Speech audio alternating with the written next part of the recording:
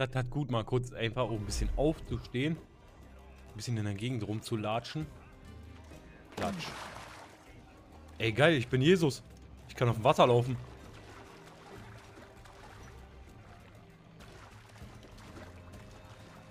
Ach so, das ist Strand. Okay. Ich dachte schon, ich habe übermenschliche Fähigkeiten. Okay. Doch nicht.